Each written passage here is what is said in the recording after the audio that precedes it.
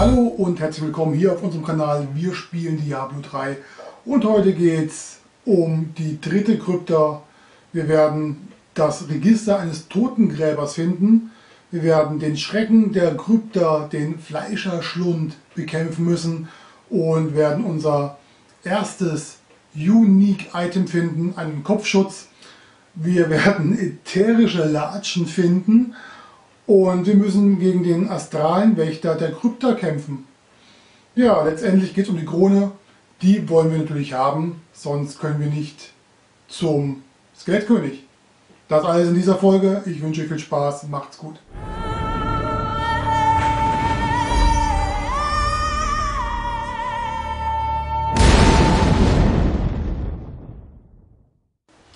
Hallo und zurück zu Diablo 3. Wir machen hier weiter und zwar wollen wir immer noch König Leorix Krone. Die finden wir im dritten und letzten Dungeon. War ja klar gewesen, dass wir durch alle Dungeons müssen. Hier haben wir noch Register eines Totengräbers, das können wir uns noch anhören. Ernennung zum König brachte er viele Adlige mit sich. Und die wollen natürlich alle, warum auch immer, edle Krypten. Also habe ich mir meine Schaufel geschnappt, weil ich dachte, ich könnte mit ein paar Löchern leichtes Gold verdienen. Ha, die Nachfrage in der Gegend hier ist endlos. Jetzt grabe ich von morgens bis abends. Selbst meine Träume sind voller Erde. So, und dann rein in die Krypta, in die entweihte auf der Suche nach Leons Krone. ah, bedeutet, wir haben hier zwei Dungeons. Und zwar sind wir jetzt in dem ersten und dann geht es weiter hinab in den zweiten. Dort werden wir dann die Krone finden. So ist der Plan. Und hier haben wir eine ganze Menge von Jetzt haben wir jetzt mit den ganzen Knochenstacheln weg. Da ist natürlich cool. Der doppelte Schaden. Da kann man nichts verkehrt machen. So, wir laufen hier hoch. Überall diese Totengräber, die gehen einem wirklich auf die Nerven. Und hier unten sollte es dann weitergehen. Denke ich mal muss die Karten natürlich ablaufen. Ich weiß natürlich nicht, wo irgendwas ist. Die Karten, äh, die, ja, die Karte, die ähm, wird ja zufallsbestimmt nach jedem ähm, ja, jedem Einloggen. Das ist natürlich schon cool. So, das verspricht dann auch Abwechslung pur. Und das hier war anscheinend der falsche Weg. So, jetzt stehen wir alle im Weg. Wie gesagt, was mir im Weg steht, wird platt gemacht. Nicht genug Jetzt doppelter Schaden. Das ist aber cool, dass dann fast nichts mehr übrig ist, was ich da platt machen könnte, wenn ich doppelten Schaden bekomme. Aber okay. Wir laufen mal hier weiter, da geht's doch auf jeden Fall. Da haben wir Fledermäuse. Nicht genug Essenz, gut. Dann warten wir, bis die Essenz wieder voll ist. Dann geht es hier runter. 20 Sekunden lang doppelter Schaden. Ja, schon ist die Sache erledigt. Ah, das mag ich ja gar nicht, wenn ich ja so einge eingepfercht werde von den Gegnern. Hier geht es hinab. Entweihte Krypta Ebene 2. Die müssen wir natürlich jetzt noch machen, beziehungsweise wir müssen erstmal an dem Wächter vorbei. Und da kommt ja schon unser Wächter Fleischer Schlund, der Schrecken der Krypta. So, dann hauen wir einfach mal drauf. Meine Essenz war gerade leer, jetzt ist sie wieder voll. Und mit L2 markiere ich ihn auch. Dann haut sie immer wieder drauf. Jetzt ist er eingefroren. Coole Sache. Und das war's. Ein Kopfschutz in Gold. Das ist natürlich cool. Unser erstes Unique Item. Der Kopfschutz, ne, was das wohl sein wird, ne, ich schaue dann mal im Lager, rüsten wir uns dann aus und dann schaue ich mal, was das war. Jetzt geht es erstmal hier zu den Grabwächtern. Die Grabwächter sind die ersten, die wir ausschalten. Das sind diese hier mit der lila Aura. Die casten Skelette. Das kann ich gar nicht gebrauchen. Von daher werden die jetzt erstmal ausgeschaltet. Da haben wir drei Stück hier unten von diesen Grabwächtern. So, und jetzt können wir uns den. Skeletten hier widmen. Und anschließend schnappen wir uns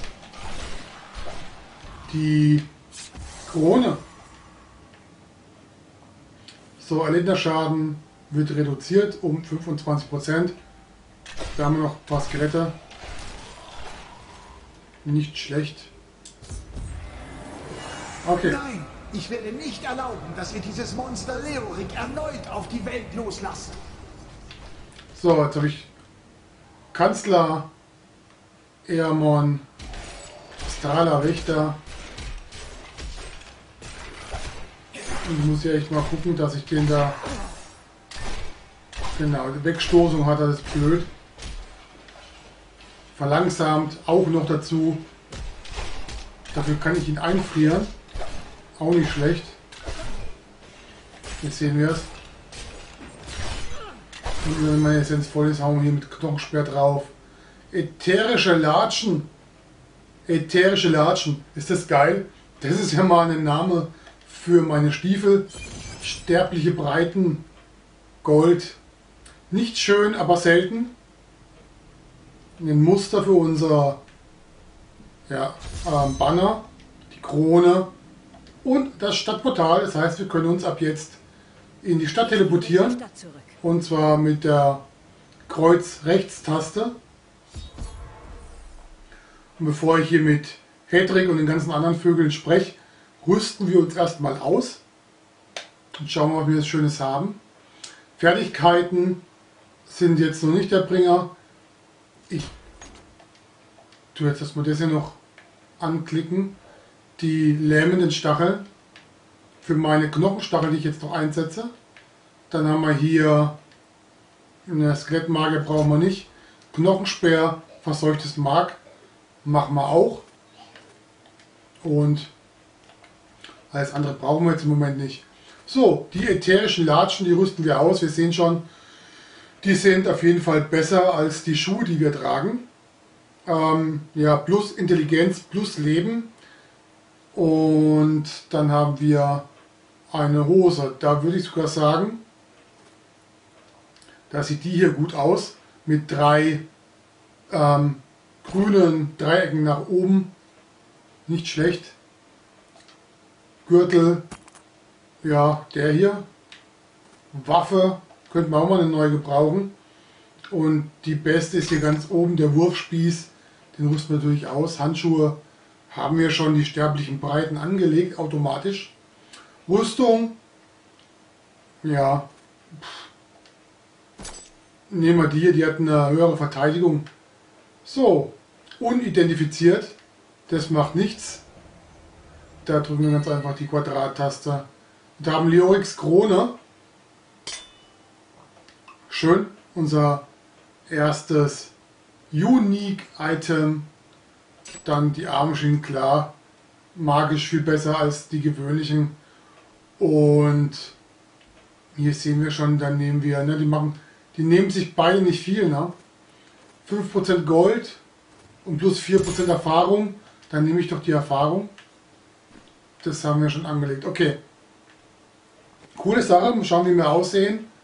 Unser aktuelles Erscheinungsbild sieht gut aus. Und die restlichen Waffen, die verkaufen wir. Hier, das wird alles verkauft. Das auch. Da, damit da mal wieder Platz drin ist und wir weiter sammeln können. Perfekt. Jetzt schauen wir uns unser Banner an. Da haben wir auch neue Sachen bekommen. Ich fange mal hier an. Die gekreuzten Stäbe haben wir ausgewählt. Neu ist hier nichts. Hier ist was neu. Genau. Ja.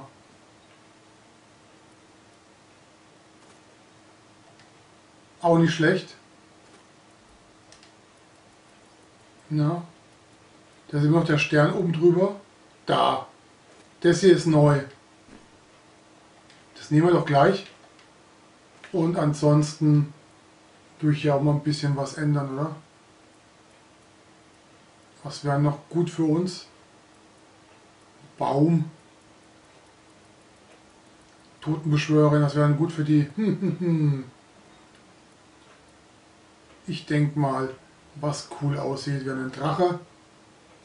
Und das hier ändern wir mal auch, oder? Ranken, Skarabäus, das nehmen wir. Gut, jetzt sprechen wir noch mit unserem Hedrick. Um ehrlich zu sein, hätte ich es nicht erwartet, euch je lebend wiederzusehen. Ah, sie muss repariert werden. Sollte kein Problem sein. Es ist schön, wieder zu arbeiten. Und während er hier arbeitet, Bitte. warten wir so lange. neu wie an dem Tag, an dem sie dem wir schon? König auf den Kopf gesetzt wurde. Ich habe genug vom Schaufeln schmieden. Ich muss mich mit etwas Sinnvollem ablenken, damit mein Leben wieder Bedeutung hat. Es gibt keinen höheren Zweck, als das Gleichgewicht zu bewahren. Die Priester von Ratmar würden eure Hilfe willkommen heißen. Eines noch. Ich bin während meiner Reisen auf die Leiche eures Lehrlings gestoßen. Es war ein schneller Tod. Närrischer Junge. Macht euch auf das Schlimmste gefasst und ihr werdet nicht enttäuscht.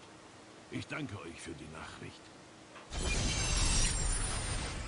So, hier noch was. Eine Stangenwaffe für uns. Und dann schauen wir mal, was uns Deckard Kane als nächstes für einen Auftrag gibt. Endlich.